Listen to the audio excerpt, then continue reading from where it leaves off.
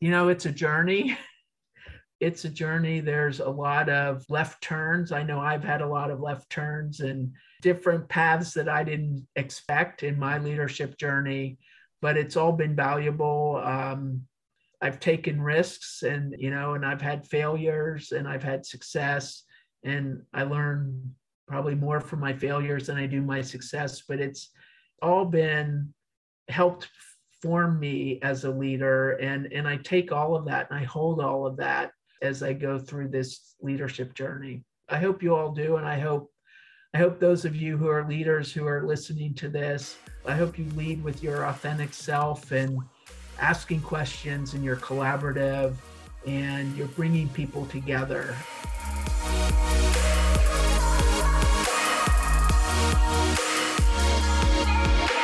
Hey, leader, and welcome to episode number 295 of the L3 Leadership Podcast, where we are obsessed with helping you grow to your maximum potential and to maximize the impact of your leadership. My name is Doug Smith, and I am your host, and today's episode is brought to you by my friends at Beratung Advisors. If you're new to the podcast, welcome. I'm so glad that you're here, and I hope that you'll enjoy our content and become a subscriber. And if you've been listening to us for a while, thank you so much. And it would mean the world to me if you would leave us a rating and review on whatever app you listen to this through. That really does help us grow our audience and reach more leaders. So thank you in advance for that. In today's episode, you'll hear my conversation with Lisa Scales. If you're unfamiliar with Lisa, let me tell you a little bit about her. Lisa's been the president and CEO of the Greater Pittsburgh Community Food Bank since 2012. She holds a JD degree from Boston University School of Law and Bachelor of Arts degree in Social Sciences from Seton Hill University. Lisa serves on the board of directors of Adagio Health and is an advisory board member of the Center for Supply Chain Management at the University of Pittsburgh the Centers for Community Engagement at Robert Morris University, and the University of Pittsburgh Johnstown Institute for Responsible Leadership.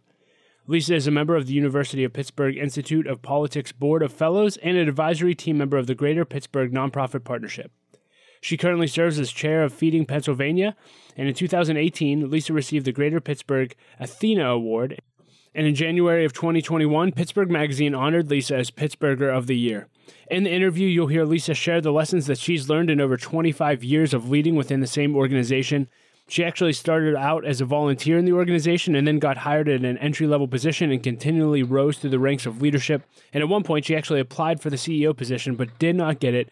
And you'll hear her talk about how looking back, she wasn't ready, even though she thought she was. And she shares the lessons learned there as well. So you're going to love this conversation. But before we get into that, just a few announcements. This episode of the L3 Leadership Podcast is sponsored by Beratung Advisors. The financial advisors at Beratung Advisors help educate and empower clients to make informed financial decisions. You can find out how Beratung Advisors can help you develop a customized financial plan for your financial future by visiting their website at beratungadvisors.com. That's B E R A T U N G advisors.com.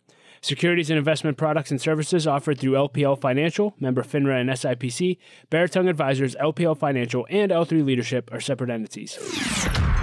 I also want to thank our sponsor, Henne Jewelers. They're a jeweler owned by my friend and mentor, John Henne.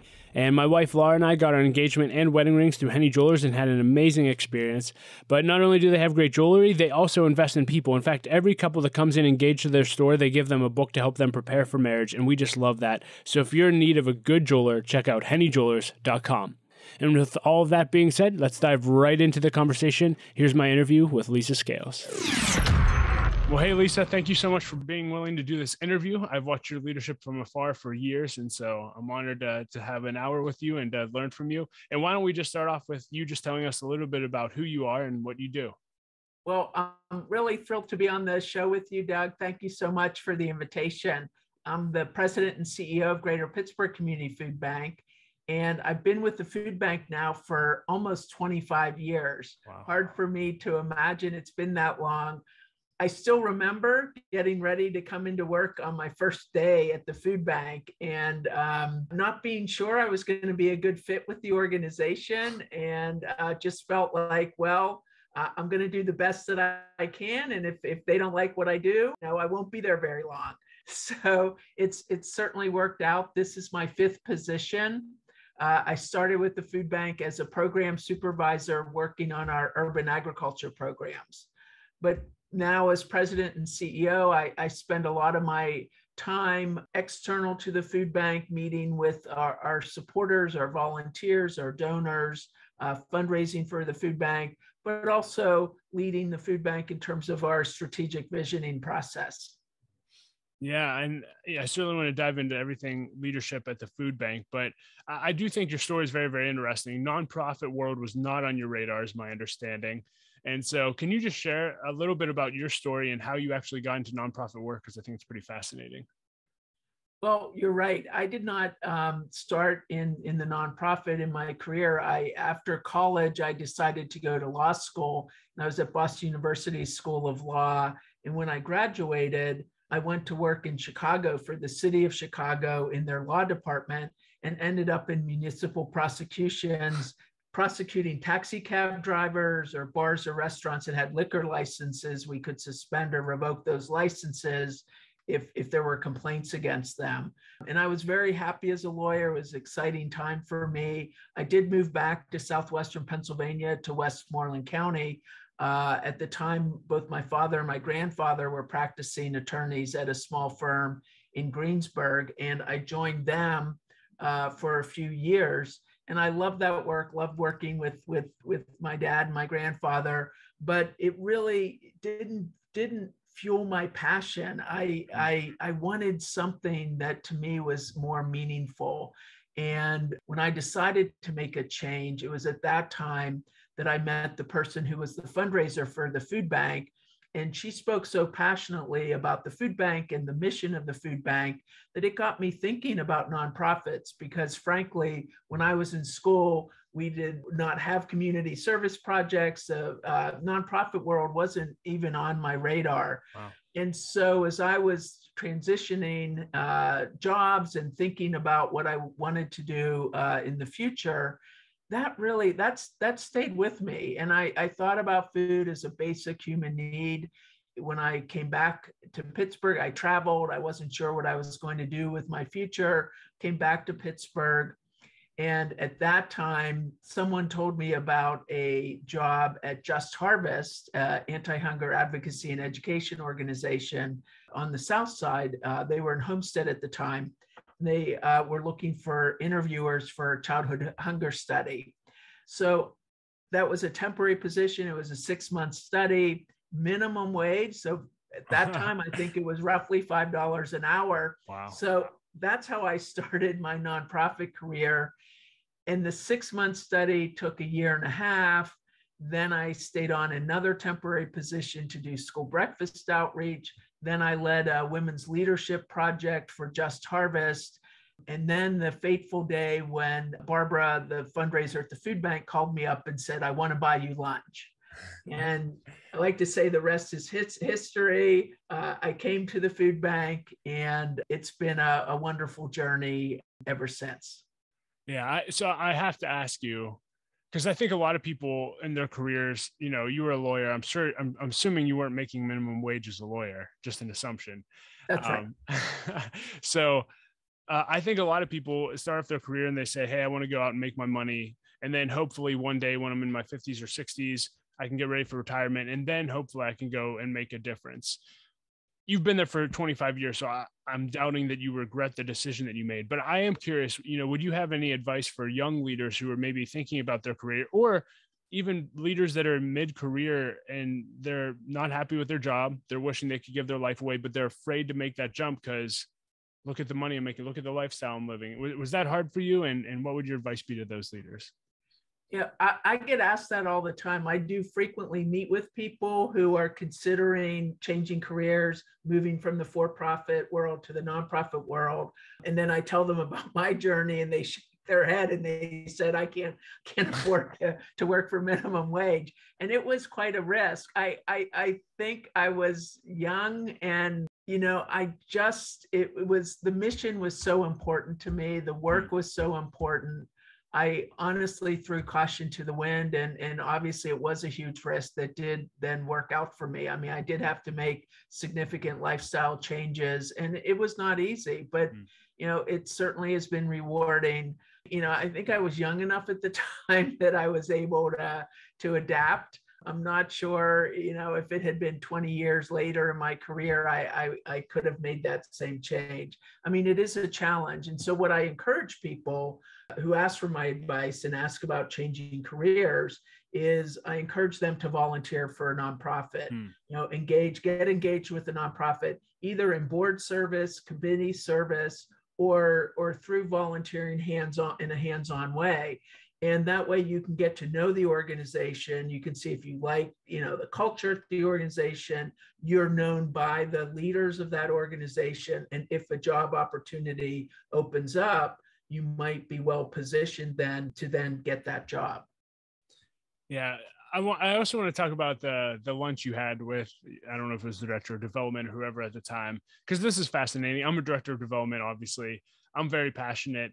Just talk to leaders about the power of influence. Was it her just sharing her passion? Did she literally say like, "Have you ever thought about a career and try to recruit you?" Uh, I'm just curious what what happened in that conversation. Yes, she was so passionate about the mission of the food bank and what the leadership of the food bank, the vision. I mean, I actually advocated to work at the food bank about two years before I got the phone call to, to have lunch and, and meet with, with her about an open position there.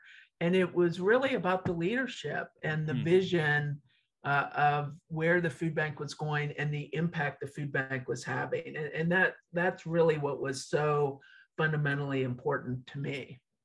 Yeah, and and just you know, it should be obvious why food is important and food banks are important. But for those listening, you know, can you share a little bit about that passion of why are food banks and community food banks so important in Pittsburgh and really in food banks in every city in America? That's right. And we're a member of the Feeding America network of food banks. We're one of 200 food banks across the country. And uh, most of us have a multi county service area.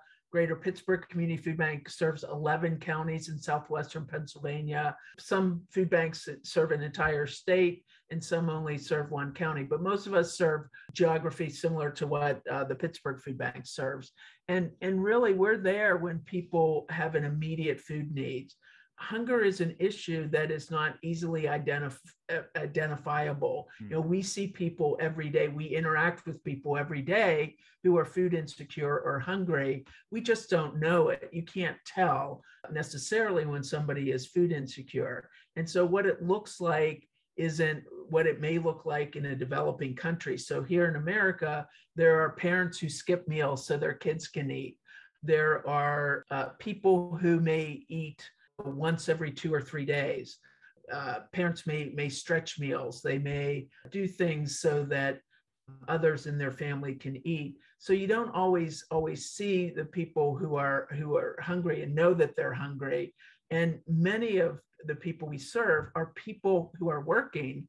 They're earning low wages. And that's the biggest difference from when I started at the food bank in the mid 90s to now. A greater percentage of the households we serve um, have someone there who is working often two or three jobs. They're just not earning enough to consistently put food on the table.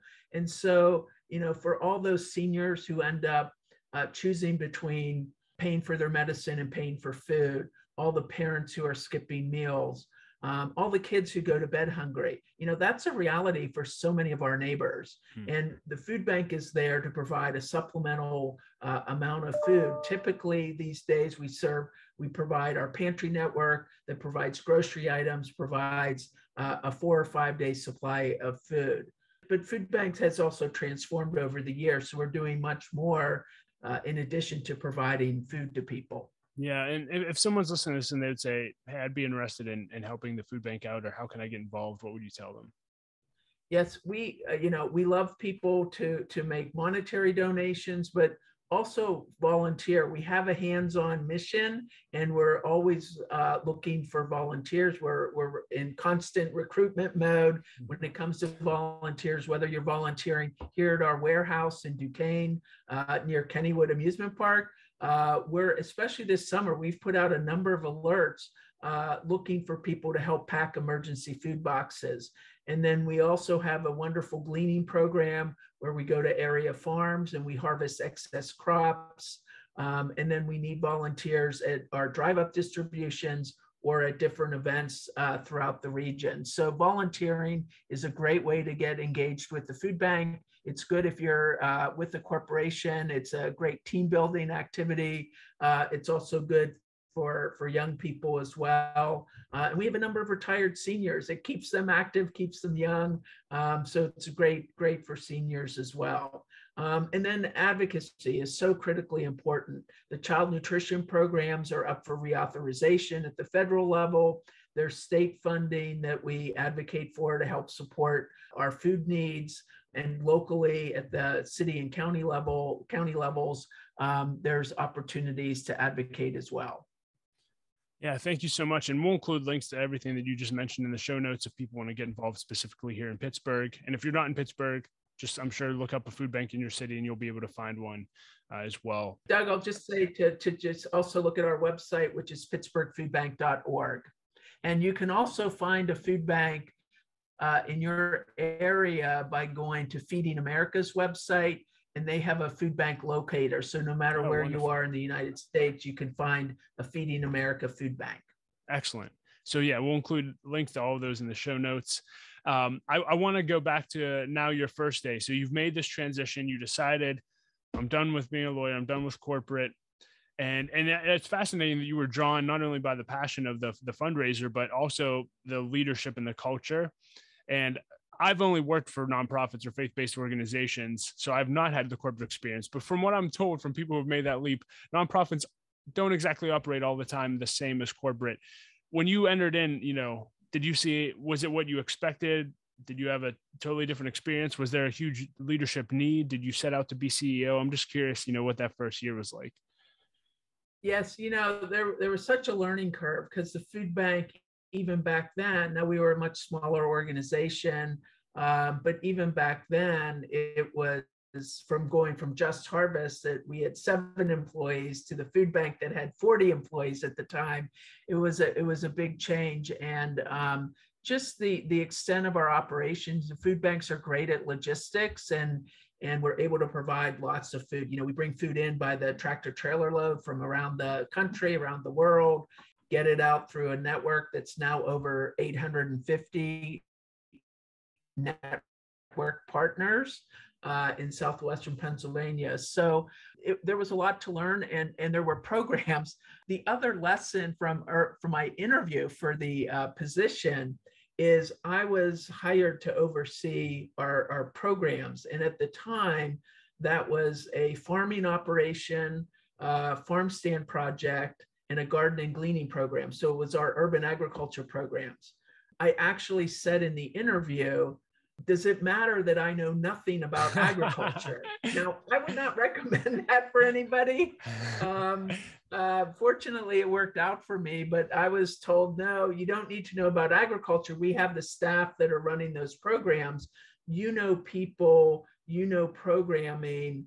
Uh, we're looking for somebody to lead the effort and scale those programs up. And that's what we believe you can do. Um, and that's certainly what happened. So I had to also learn about food bank. Not only did I have to learn about food banking, I also had to learn about each of those individual programs. Mm-hmm. And, you know, it's what's so critical and, and what I'm so, what I love about the food, you know, we, uh, what I love about the food bank is we have such talented staff we did back then too and, and i really leaned heavily on our program staff that that knew the day to day and knew what they were doing.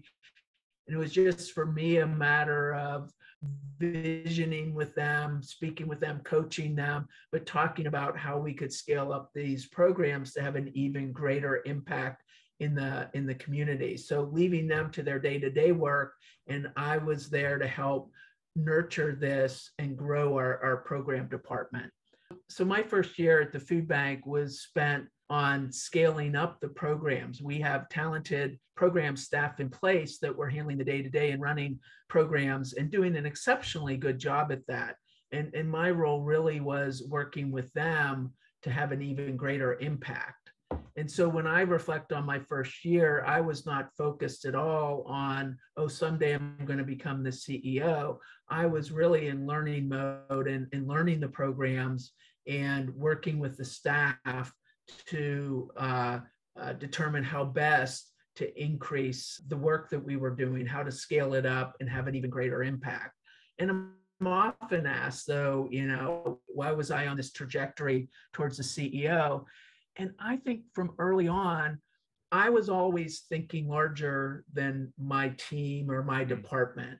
I was always looking to see how we connected with other departments at the food bank, what the impact of our work was on, on other departments. And I was always interested in hearing what the successes were and the challenges that the other my, the other managers were having what what what were the struggles of the other departments. And you know it you do have to it's how you ask questions too doug because um, you know people can get their feathers ruffled if you ask a lot of questions about their area of work. And i was always sensitive to that as well. And so it was really about me having a, a better understanding and wanting to really understand what um, another department was doing and to see if there would be a connection or a way to collaborate with that particular department. So, so that was year one. And correct me if I'm wrong. I know you've been there almost 25 years. I believe it was about 16 years prior. 16 years you were there prior to becoming CEO. And you know, there's a lot of leaders in the middle of organizations, or maybe their leadership role, and maybe they see, hey, one day I would like to be in that senior role. Did you have that? Did you have to be really, really patient? Were there times you wanted the role but it wasn't able to, and you just stuck around because we live in a culture where people just don't stay places long. You know, if you look at the average resume, most people are skipping jobs every two or three years. And I see a lot of leaders not willing to wait and actually bloom where they're planted. Can you just walk us through that journey and the waiting? Was that frustrating for you? Was it not? And do you have any advice for leaders who who get frustrated that they're not going getting promoted fast enough? Well, I've been fortunate in my time uh, at the food bank that I've had a number of promotions over the years. So I've not felt stagnant or locked in to one position or even one level within the organization. And every time I have been promoted, it's brought a new set of challenges, greater responsibility that's allowed me to continue to, to stretch and learn and, and take on more. And it's really fed my, my passion for the work and especially uh, fed my passion for leadership and and hmm. and I've learned so much at each level I've been in with the food bank. So I've I've never felt stuck or frustrated in in terms of not advancing. Um, I will say I was the COO for 10 years. Towards the end of that 10 year period, I, I, I, I knew I was ready to become a CEO. And I was also very cognizant of the fact that the CEO and the COO role are so vastly different. Hmm. But in reporting to the CEO, I had insight into the workings of what it would take to be a CEO. So I will say those last few years as the COO, I, I was anxious and, and eager to take on the role of the CEO at the food bank. Yeah. So, so what I heard you say is basically if you're doing something you love you should you should be so immersed in the work that you don't really think about career progression and if you have natural leadership gifting that should emerge and if you're in a healthy culture there should be opportunities maybe not overnight but over time your leadership will be recognized and you'll be given the opportunity to lead and if you learn at the right level what you're supposed to learn you'll be ready for the next position. Well, and I think because I'm at a food bank and we're part of the Feeding America network, which is a, a very much of a learning network and hmm. sharing mm. network, cooperative and collaborative network, I had opportunities to serve at the national level, uh, uh, serving on different committees and getting involved at the uh, national level for Feeding America. And so, even though I was at the COO level, there were still opportunities to gain other leadership experience. And also, I served on other boards of directors of, of, of nonprofits. And that also then allowed me uh, to experience leadership as a, as a board member. And so I encourage people, you, you know, there are many organizations that, that you may not be able to advance. And, and I, I, I know that people uh, sometimes get frustrated and they feel as though they need to change jobs. And sometimes that's just frankly the right decision. Go ahead and, and change jobs because you want to progress in your career. If if that's something you're interested in, if you're interested in leadership, if you're interested in taking on more responsibility, there are times you just need to to to find another organization to work for. But if you are kind of locked into your organization, there may be other avenues for you to gain additional leadership experience. Yeah, and you mentioned when you were COO, you you know you kind of got a front row seat of what it takes to be CEO, and you've been now one for I think eight or nine years. What what does it take? What do you wish people knew about being a CEO? You know, everyone wants the corner office, they want the they want the position, but then you sit in it and you have all the weight of the. You know, what does it actually take to be and sit in that seat? Yeah, well, first and foremost, it's such an honor to lead an organization. I mean, it's you you, feel that I'm kind of tingling now, just even oh. even mentioning that to you, Doug. It it really, I really am. It's uh, an electricity going through me right now, um, thinking about that because it is such an honor to do that. I mean, it's people have entrusted you with leading an organization and um, there's there's no other feeling like that. It's it's a wonderful feeling. At the same time it it is a lonely position. Yeah. you know there are very few people you can confide in. You can't confide in the people who report to you or the staff. You can confide in other leaders. People don't realize how hard it is. You know i got a lot of great advice and i had a lot of great conversations when i first became a, a ceo and I remember at a Feeding America conference talking to someone I so respect, a CEO of another food bank.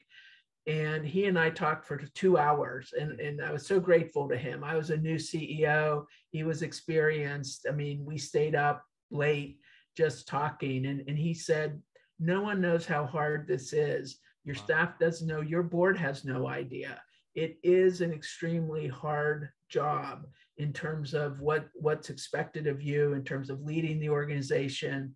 Um, it isn't just the fundraising. Fundraising is um, you know well i think fundraising is a privilege. I love talking about the food bank and raising money. I know you do too doug. Yeah, you love raising money but it's it's the decisions it's the weight of the decisions you know whether it's personnel or or a building project whatever it is but it's also and and for food bankers in a um, city of our size of Pittsburgh, it's also a fairly public position. So even when I'm out at a baseball game or, or a movie or at a, a concert, music concert, I'll run into people who recognize me and and always talking, you know, food banking. So oh, and hey, and you probably won't say this, but you were the Pittsburgher of the year last or this year, right? That's so right super so now everyone knows you yeah which is That's awesome. right. um, you mentioned you know it's it's an honor and a privilege. It's also lonely. It's also very very difficult very hard. I'm just curious you as a leader how do you actually deal with the weight? You know how do you relieve stress? How do you deal with the pain of the decisions that you've made that impact people sometimes in a negative way? What do you do personally to recover from that? Well i have to say i've been fortunate that i wear my food bank hat when I wear make any decision. And that's what, I call it. I, I don't know. I just came up with that phrase. It's anytime I'm making a decision about the food bank, I'm wearing my food bank hat. So I'm always making decisions that are in the best interest of the food bank. And even those decisions that are hard to make, that might be a personnel decision, that is a, a, a difficult decision to make. Well, if I know how challenging and difficult it may be for the person I'm speaking with the, the on the personnel issue, I always know that I'm doing right by the food bank. Mm-hmm. I'm making every decision is made in the best interest of the food bank. It's never personal. It's never about me. It's it's it's it's frankly always about what's in the best interest of the food bank. And that served me well. I mean, that every decision then I can sleep at night. I know um, to the best of my ability, I've made a good decision for the food bank based on the information I had at the time. So good. Uh, this is really broad, but any other leadership lessons that come to mind that that you would say, hey, my 25 years, if I could go to the bank on this lesson, it'd be this about leadership? Well, the other piece in terms of being a new CEO, um, the other piece of uh, advice I, I had was to really focus on prioritization and delegation because you have so much coming at you. And you know again every level it's a it's a new challenge. There's more responsibility. And you think oh i can handle it because i went from supervisor to manager to program officer to coo and ceo is just it's the next rung up but it's not just one rung up it's like 10 rungs up i'll be honest wow. i mean i thought i knew what it would be like I had no idea. There's so much coming at you, so many, everybody wants your time. And if you are not smart about time management, about if you're not good at delegating, if you're not good at prioritizing, you can just sink. You know, it's like swim or sink, and you would just flounder um, because there's just it would be so overwhelming. Uh, you have, and also, of course, having good people. You know, I have an excellent executive team and uh, a great board of directors. And um, that's that's really I've benefited from from both of those uh, over the years. Yeah, and do you have a, a team around you, or maybe an, an, admin that helps you say no and helps you prioritize, or is that just a skill you gained over time to learn what to say yes to and what to say no to? Yes, well, you know, it has not. That has been one weakness that I've had is I, I have a hard time saying no, and you know, when you wear that CEO hat, you're always looking for opportunities and and always you know want to explore what what could be possible right? What's possible? So definitely uh, my executive team members help me in that regard and my executive assistant helps tremendously in that regard. Um, i have definitely gotten better over the years uh, more judicious about my time both with internal meetings and external. You know one of the challenges of becoming a ceo uh, as the internal person who had been the COO is staff still approach you and, and pull you into programming meetings. And that's not how I should be spending my time. So I learned that early on as well, is to be really thoughtful about what meetings should I be in, but more importantly, you know, what meetings do I not need to be in? And I, you know, we have again terrific staff and I trust them and they are, are hardworking, passionate, resilient and, and committed to the mission and, and they make great decisions. So that's an easy one for me. Yeah, just out of curiosity, you know, you brought up that example of being in program meetings early. It was is that just a discussion with you know your program team and just saying, hey, you know, unfortunately, this isn't the best use of my time. You guys need to figure this out. Worst case, come to me. But what was that conversation like? Yeah, it was two way because actually I knew I, I there were meetings I didn't need to be in, but actually even our, our chief program officer will be the first one to say, Lisa, you don't need to be in this meeting. I think the challenge is when it's a new partner, um, there are often times that I want to be in the first meeting or the initial meeting and then do a handoff to the program folks because yeah. for me so much of the work is about relationships but even then you don't always have to be in every first meeting either so it's not always, it doesn't have to be me every time. And and the program staff, actually, they might prefer it not to be. That's awesome. Um, so I, I, was surprised to hear your fundraising response. So you know, you started off in programs, although it sounds like part of your programs was in the development team, uh, and then you were in an operating role. And you don't often hear people in operations or programs ever say, that I enjoy fundraising. Was a the fundraising hat something you just put on as CEO? Were you involved with it before? And of course, I have to ask you, you know, what have you learned about fundraising in your time? Yes, so fundraising was brand new to me as a CEO. I really did not get involved in fundraising at all, as even as the COO. It took a little while, but really, I mean, I would say after the first year, maybe it was the first year, I was I was timid in my approach, and you know, I always hear about oh, no one likes to fundraise, you know, no one likes to ask for money and it's hard to ask for money. Well, Doug, I don't tell you, it's not about asking for money. It's about developing the relationships. It's yeah. about talking what I'm passionate about, which is talking about the food bank, and, and the money will come from that.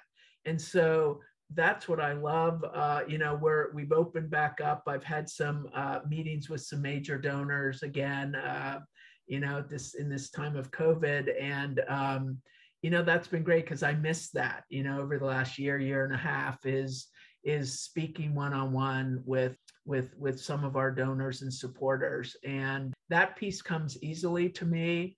And so I'm not intimidated. And and to me, it's uh, we're providing this opportunity for somebody to also make a difference in people's lives. So it's a two-way street uh, when when you're speaking with with the donor. Yeah, and you you kind of answered. Well, this may have been one answer, but I am curious. You know, if you could go back and, and talk to yourself when you started the CEO role, what would this Lisa today tell that Lisa then? Oh my gosh, I would say um, to be more patient. You know, one of the great pieces of advice I got was from a long time Feeding America CEO who mentored me my first year when I called I called up uh, the COO of Feeding America after my first six months on the on the job as the CEO, and I called him and I said, I've got so much coming at me. I'm, I'm doing what I can to delegate and prioritize, but it's still so much. Is there anyone who you could recommend that I talk to on a regular basis who can mentor me and and who who's just doing an exceptional job as the CEO. And he connected me with uh, Jan Pruitt, who at the time was the CEO of the North Texas Food Bank in Dallas. And the piece of advice that sticks with me is she said to me, Lisa, it's a marathon, not a sprint because mm-hmm. um, she saw my schedule. She saw what I, she heard. You know, I went and visited her and saw her operation and, and sat in on her executive team meetings. And, and she was just so generous with her time. But that has, is forever sticking with me that this is a marathon, not a sprint. And while I have a sense of urgency about ending hunger, um, definitely, um, it, it is in terms of the work I'm in I'm in this for the long haul. Uh, the work is going to continue, but you have to pace yourself as a leader, and and that's what I would I would tell myself. I just wanted everything to happen yesterday, hmm. and you know change doesn't happen that quickly, and so that's that's the biggest piece of advice I would give myself if I was talking to a younger me. Yeah, that sparked an, another question I'd, I'd be curious about. You talked about executive meetings what have you learned about meetings? and I am I am curious, you know, how do you run your executive team meetings? Do you guys meet weekly? What do those meetings look like? Yeah, they've changed over the years, and I was involved when I was a manager at the food bank. I was in, uh, you know, management. You know, we didn't have executives at the time, but I was in management meetings at the time. I think were weekly at that time. Uh, what we've settled into, we have a um, every other week uh, we have a long a two and a half hour meeting that is more strategic discussions. And on those in between weeks we have a uh, 45 minute hot topic meeting uh, that we just go around and anybody who has a hot topic uh, just to do some information sharing we do that. I know um, and it's not just the food bank people are feeling um, overextended when it comes to meetings. Uh, we all feel like uh, there's there's a lot of meetings in our lives, and now we have a lot of Zoom calls that can be uh, draining after a while. But you know that is also how the work gets done, and it's a way that you can discuss strategies and make decisions. Uh, so we have those at the executive team, and then we have a senior leaders that's made up of executives and directors, and we meet monthly and actually, we just changed our agenda. It used to be we would pack, they were an hour and a half long meetings, and we had so many agenda items that each agenda item was only five minutes or 10 minutes at the most. And it was basically information sharing. And we opened it up to the directors and found out, no surprise, you know we could put all that information in an email message and they didn't think it was the most productive use of their time so mm. I, I, really um, value their input i mean we ask so i was asking that question of them and just the other day we had our first new newly structured uh, senior leaders meeting where we limited it to um, four agenda items over two hours mm. and we've agreed moving forward we will only have three or four agenda items uh, for each meeting and we could have deeper discussions. And we had we had some great conversation uh, the other day at, at the senior leaders uh, meeting. Wow. I, I want to dive into the lightning round which i know you're super excited about. But anything else you want to share about your journey or leadership before we dive into that? I think i think you you covered most of it all right. I think we'll cover more during the lightning round. Let's go. First question of the lightning round is What is the best advice you ever received and who gave it to you? Well, I already talked about some of the advice, but I was saving one for the lightning round in case you would ask this question, Doug. Jim McDonald, uh, formerly with uh, BNY Mellon, gave me great advice early on when I became the CEO, which was don't spill all your candy in the lobby. And he saw when he took me out to introduce me to program officers at local foundations, and they would ask me one question, I would just tell them everything the food bank was doing. I've done that. Yep. So don't spill all your candy in the lobby. Uh, Jim, that'll oh, forever stick with me. That's good stuff. Uh, if you could put a quote on a billboard for everyone to read, what would it say? Breathe deeply and often. What's the best purchase you've made in the last year for a hundred dollars or less? You know, I don't even, I have not purchased a whole lot in the last year. So it's probably an app, you know, that I purchased for a couple dollars. Um, I have some really good apps and, and that's definitely, I think the biggest splurge I've had in the last year. Okay. Are you a podcast listener?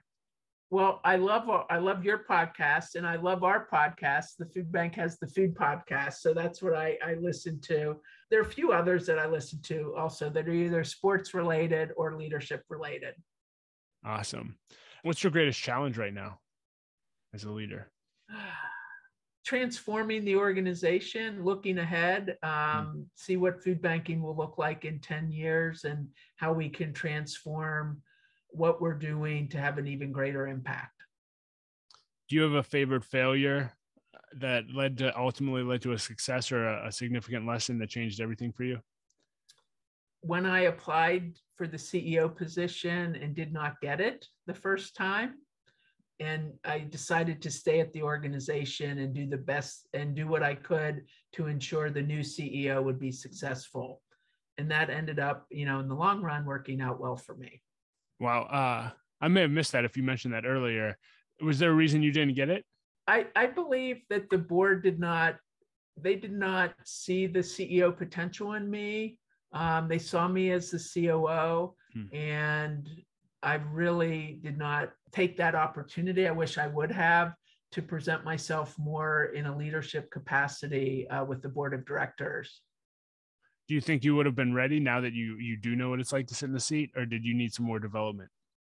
I did. It was only there was a year um, the ceo at the time decided to move back to um, he had come here from from another state and he decided to to go back to where his family was. So it was only a year but i did you know i learned a lot in that year and uh, definitely felt ready to become the ceo at the time it's been clear throughout the podcast that that you're a learner and that you seek out mentors and you seek out learning lunches. Uh, you get to spend time with a lot of influential people, and I'm just curious. You know, when you meet with a leader for the first time, is there a go-to question or two that you always ask, no matter what? I, I typically will ask people what keeps them up at night, and then I want to hear about their greatest success. So I'll turn those on you. What keeps you up at night? uh, what keeps me up at night is that isolated senior in Somerset County who doesn't have hmm. family around and may not have enough food, or the kids who go to bed hungry. Um, I want to ensure that everyone has consistent access to nutritious food. So, you know, it keeps me up at night when I know that there are people out there who don't have enough to eat. Hmm. And the other question was, what's your greatest success? Is that correct? Yeah.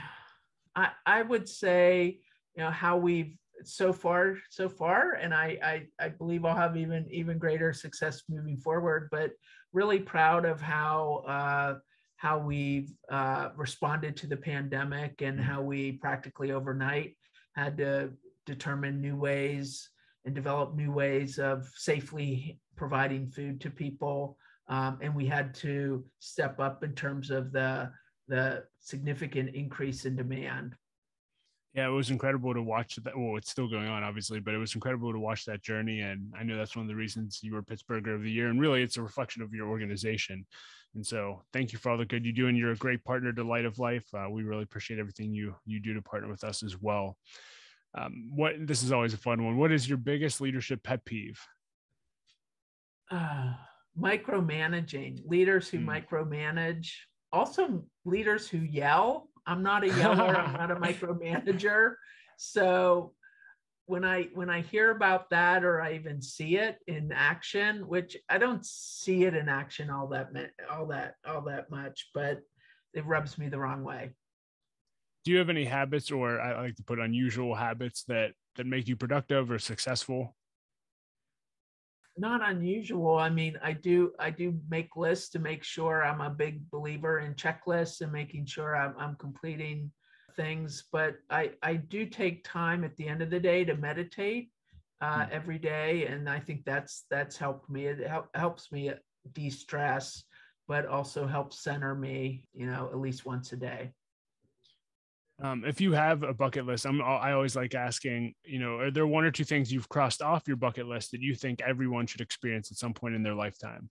Becoming a CEO.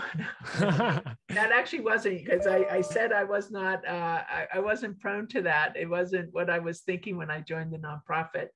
I'm making my way through um, all the baseball stadiums. I know oh. that's on, you know, many people have that on their bucket list. I've also gone to a number of uh, state capitals. Um, so I'm not all the way through all 50 states, but I've gone to a number of state capitals as well. And I have some travel, you know, there's some places I would love to go. I haven't been to Hawaii or or Greece or Antarctica. So there's some places I'd love to go. Yeah. So in your opinion, is PNC still the best park in America to watch a baseball game at? It is, although I, I heard that the new ballpark in Arlington, in Texas, is good with the Rangers, and I hear great things about uh, where the San Francisco Giants play. So those are two ballparks I have not been to yet. Okay. Uh, if you could go back and give your 20 year old a self advice, what would you tell her? I would say it's a marathon, not a sprint. Hmm. I would also say be more forgiving of yourself. I think when we're younger, we're really hard on ourselves and one of the probably better aspects of aging, if there are any, is that you uh, know yourself better, more comfortable with yourself. So, um, you know, that's where the patience comes in and kind of be more forgiving of yourself. And on the other end of your journey, when you're at the end of your life, what do you ultimately want to be remembered for? What do you want your legacy to be?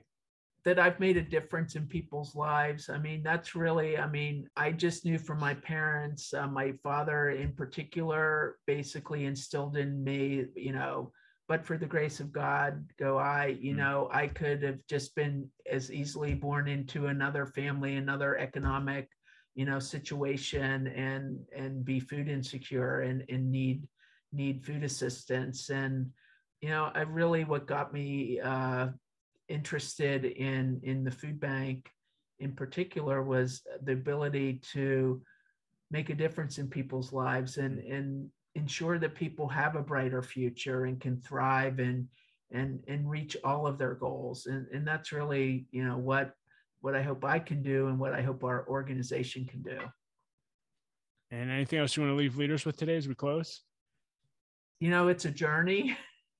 Uh, I think, as we all know, those of us who are leaders, it's a journey. There's a lot of um, left turns. I know I've had a lot of left turns and different paths that I didn't didn't um, expect in my leadership journey, but it's all been valuable. Um, I've taken risks and and you know, and I've had failures and I've had success, and I learn probably more from my failures than I do my success. But it's it's it's it's all been helped form me as a leader. And and i take all of that and i hold all of that as i go through this leadership journey. And and so i hope i hope you all do. And i hope i hope those of you who are leaders who are listening to this um, and you can be a leader at any level of, of an organization uh, you know i hope you i hope you lead with your authentic self and and and you are asking questions and you're collaborative